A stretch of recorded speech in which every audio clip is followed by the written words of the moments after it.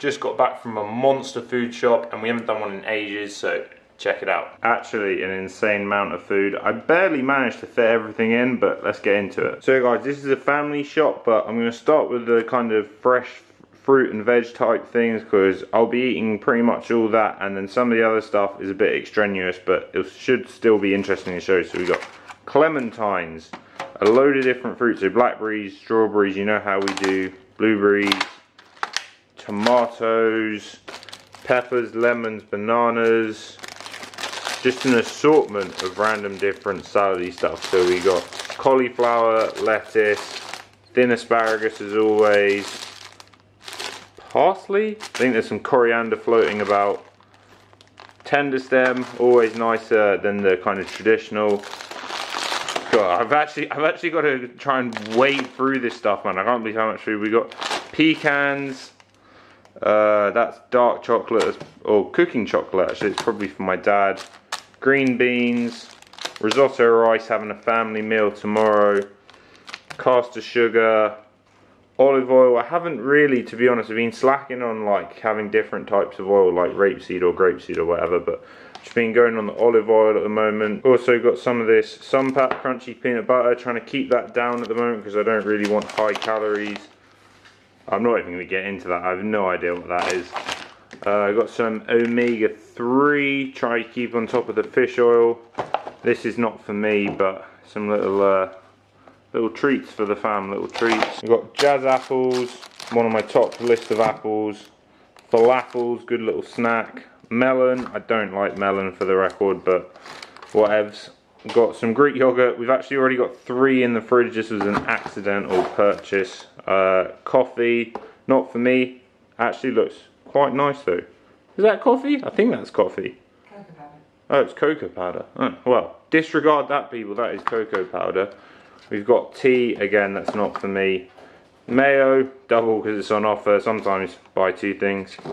Got this, again, family meal scenario. Haagen-Dazs is probably my favourite brand of ice cream. And then I saw these, I've never actually tried it. This is protein ice cream and it's a lot less calories. So, gonna give that a go at some point and see how that goes. Don't think it will probably be like a regular purchase, but fancy trying it. Again, family stuff, just crisps, milk, I don't really drink that. Uh, butter, a few different types of cheese, feta, goats, olives, won't touch them with a barge pole, might as well chuck them in the bin, horrible.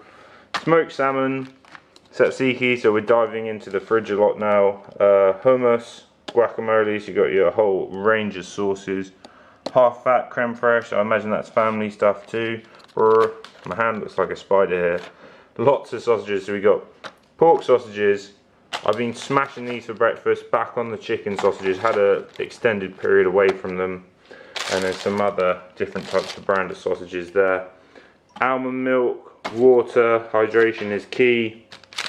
Little fridge snack. Got the roast turkey, shreddy chicken, shreddy lamb steaks, shreddy and then we're kind of moving into the carbs. Oh, as well, this, if you can find this if you're in the UK, this for the calories, this chicken soup is the one, banging. So we've got some large eggs and then pretty much everything else is carbs. So I've started having this, to be honest, kind of out of sheer laziness because I can just have two uh, sachets. I don't have to weigh out oats and it's super quick, super easy. So this has kind of been my more convenience factor at the moment. Got some naans, again, family meal. I don't know if people eat naan bread in America, I guess they do. Um, that's not mine, kind of wish it was, looks quite nice, but it's more of a lunch thing. Potatoes, I a lot of potatoes, starchy. Um, just real easy and filling and tasty. And then we've got some wholemeal pitters and rye bread. Well done if you managed to stick through all that. That was a serious lot of food. Anyway, on with the day. Time is about half 11 guys. I think I'm going to be working out in about an hour. Basically, the boxing gym I go to is having like an open day. So they're trying to get all the members to go down, support it, try to get new people in. They'll probably do some like exhibition sparring. I know head coach Steve is doing like continuous rounds. So I think he's doing like four hours straight training like treadmill, bags, barring, literally anything, but it has to be like continuous. So I don't know if he even gets rests, I'm not sure, but so I'm going to go support that and hopefully get some cool footage for you guys. So I'm just getting in my pre-training snack. I've already had today my usual breakfast, so this is going to kind of keep me going and then I'll probably have something small like late, like 3 o'clock when I get back. So we're going some of this breaded ham and then some rye bread peanut butter. I've already had an M piece, but M pieces don't count. As well, in the last vlog, I showed the Fulfil protein bar, said it was my favourite. Callum, aka former Blob, who's been on the channel before if you've seen, has recommended these to me. So I'm going to try it out. I saw it, couldn't resist picking it up. I've heard mixed reviews about the brand in terms of like, I think they do like weird pre-workouts and stuff. But the macros aren't bad. It's got 23 protein, 1.5 sugar, 217 calories. Not too bad. Let's give it a whirl. It's actually pretty good to be fair. Um, as protein bars go, it tastes a bit like a protein bar though. If you've had one, you know what I mean. But um, it's pretty good. It's a bit, a little bit dry. It's not as good, guys. I'm sticking with my guns. I'm sticking with the home team. If you're gonna have a protein bar, Fulfil. Try Fulfil. I promise you. It's okay though. This is uh, cookies and cream. If you can see that, cookies and cream. Right, peeps. Time to get a move on. Uh, today. I would normally be doing jiu-jitsu training. That's normally my Saturday vibe, get up and go straight to jiu-jitsu. But I think they only do this open day like once a year, so I felt like I should really go. Um, so I'm just going to do one big workout today. I'm going to kind of mix things up, try to get a bit of variety in there, and then have a chill one tomorrow. Because I don't really like tomorrow. I'm tomorrow is Sunday, sorry. So today is Saturday.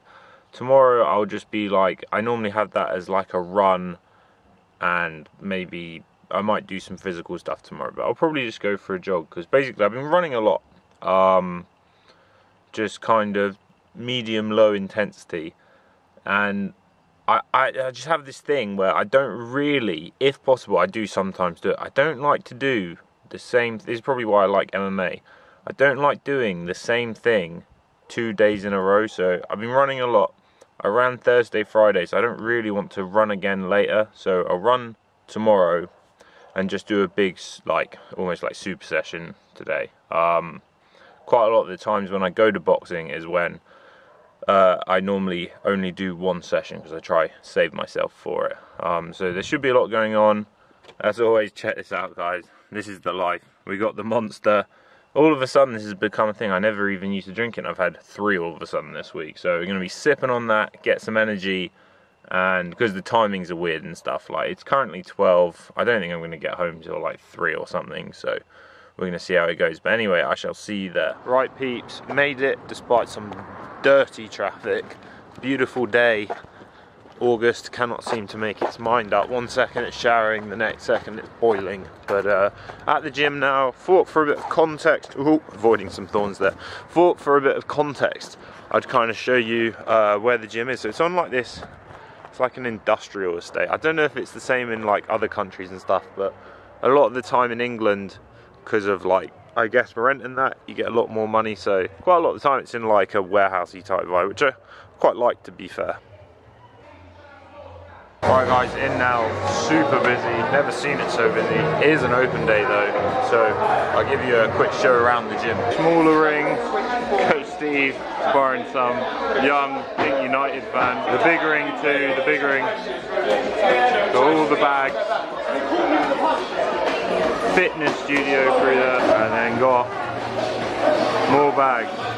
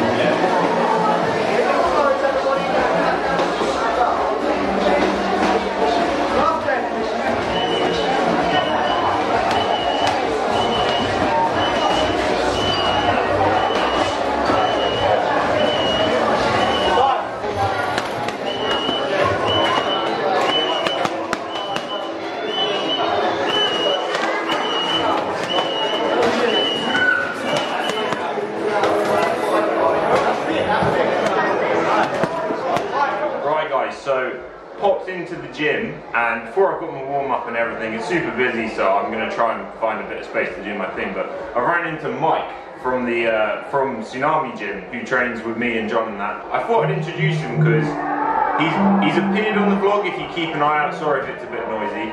But, um, and people before and stuff like have said, oh, who's that guy, semi-famous Mike? And he's got a bit of a different style and stuff. So I thought I'd just get his debut in quickly and I just ask him a few questions. So just introduce yourself, Mike. How old are you? How long have you been training? What do you train in? Do you have any goals? Just because I wanted to put in like a younger person's perspective. Like in the last vlog, I tried to get in coaches' perspectives. Obviously, I'm kind of doing my thing at my stage, so just like thought it'd be cool to get a young guy in. So Uh, I'm uh, Michael Witherspoon, I'm 17 years old. Uh, I started karate when I was uh, 7 years old, uh, Shotokan karate. Uh, from there I just got interested in fighters like uh, Lyoto Machida, who's a Shotokan black belt, uh, and I liked his style, and just from there I just wanted to get into other arts, like uh, more grappling style, so uh, I watched Tsunami one day and really liked it, uh, the look of it, started training, and uh, from there, yeah, I just I just want to start amateur and just go up from there and see where it goes. But yeah. And you're you're at college and stuff at the moment. Uh, yeah, I'm uh, studying A levels at uh, Hills Road. Um, so yeah, just trying to fit that in as well. Really. Right, guys. Anyway, enough blabbing. Time to get on my own training.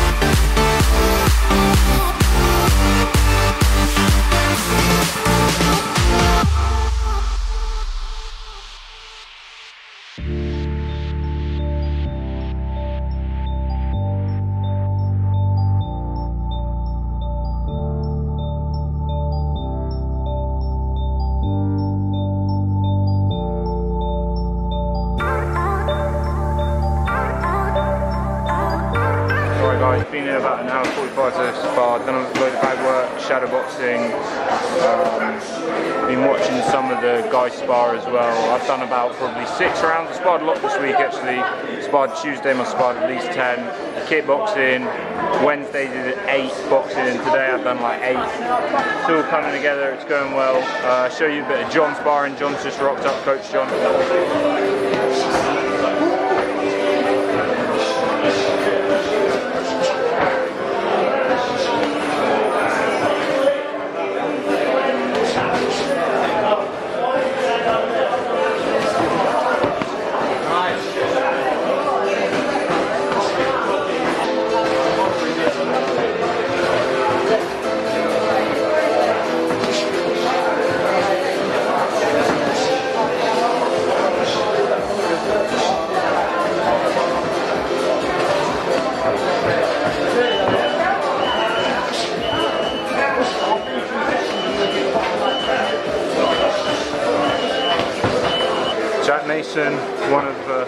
Tsunami guy vets, head coach of BKK. I train under him sometimes, go wrestle and stuff. He's training too, so I'll show you a bit of him boxing.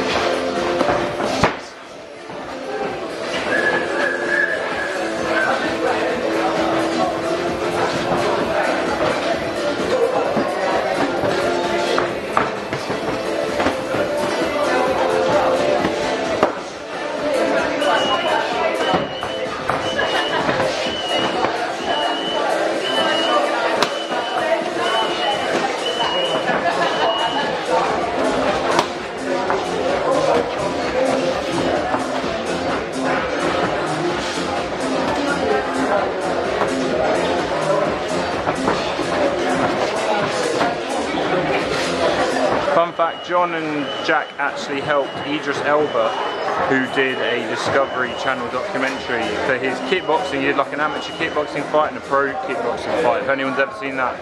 And they actually helped him train for that, so pretty cool. Anyway, I'm going to finish up my session and I'll catch up with you guys after. Right guys, all done training now. Time is half three. Finished at about three o'clock, but then just chilled out and stuff.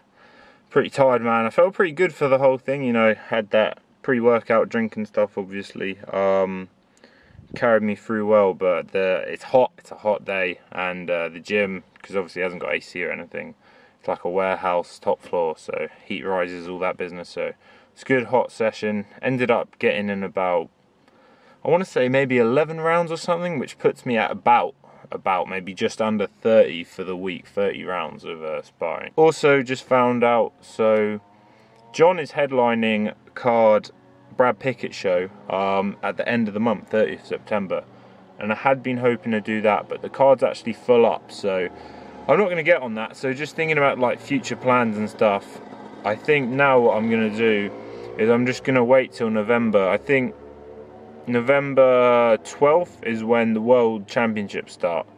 So that's just like I don't. If I go for a fight later, like in October, obviously could go swimmingly, but could get injured even winning like a fight. Do you know what I mean? So the smart thing to do is just completely focus on that. I've gone into tournaments and stuff like um, banged up and stuff before. In this one, I want to be fresh, like so. I'm I want to put my all into it. It's my last tournament. I have to give it everything.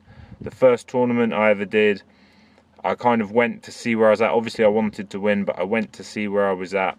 Kind of found out made improvements for the next one, got more experience, and I thought I could win the next one. Obviously, I didn't, but um, again, my mini goal, like I said before in previous vlogs, was to do better than I did last time. This one, I truly believe if everything goes to plan, I'm in with a shot of winning. Like I, I think I can win it. Again, I want to do better than last time. I don't want to do the weight cut anymore.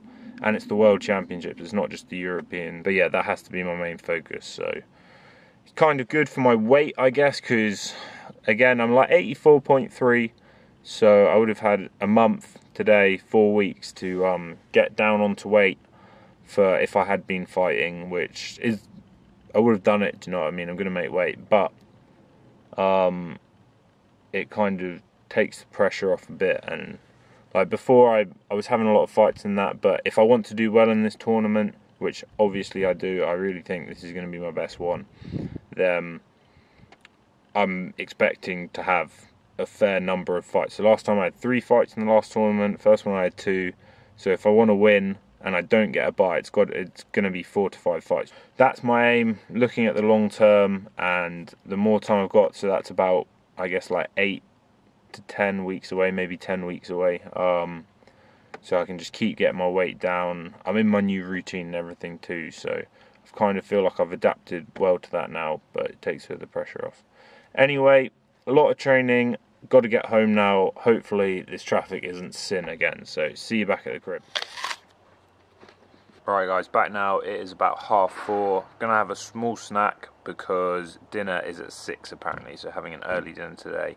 But I'm hungry. My legs have gone a little bit. So, excuse the presentation. It's very hard to fit stuff into a pitta, but we've got a wholemeal pitta, turkey, cheese, avocado, tomato, dos, and then got the leftover bits on the side, plus some cucumber. He always comes when there's food.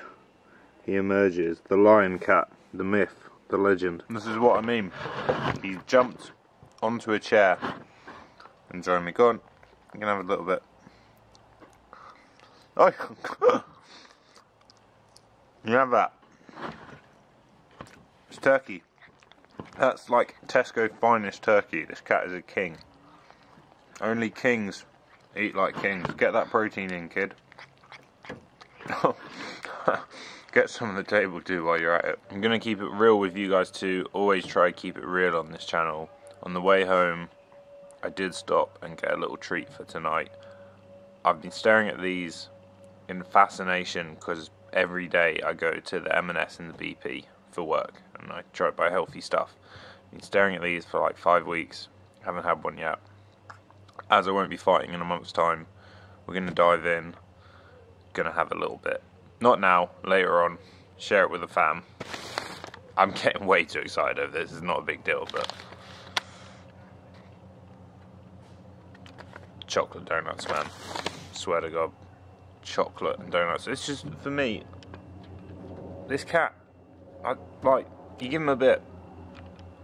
You don't want donuts. You, I know you don't like donuts. He eats cheese now. He eats anything. He's a machine.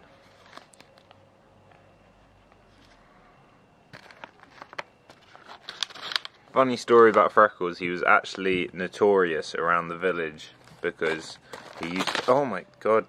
Because he uh, he used to go into people's houses apparently and steal their food a bit. Back when he had four legs. Back when he wasn't uh, disabled. But I don't know why he's trying to eat my donuts.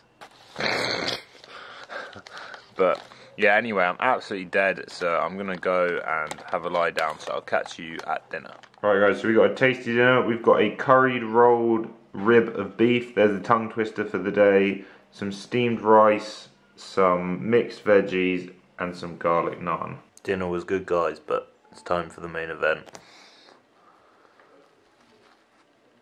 Whoa. Rated GAF. Had two guys and had to follow up with a pastry. Final thing, guys, we're trying the protein ice cream for this 100 gram serving. Only 85 calories, 8 grams of protein, like 0.4 sugar. It's pretty good. Pretty good. Let's see what it tastes like though. Ugh, verdict, guys. After finishing the whole thing, give it like a. I don't know if it's just because I'm not hungry or what, but I, I pretty much ate that to taste test it for the vlog, kind of justifying my greed there. But um, I got about a quarter or halfway through, and I thought I don't need this, even though it was only a little pot. But you can taste like the like the whey isolate, like it's a little bitter. I think it's like soya too.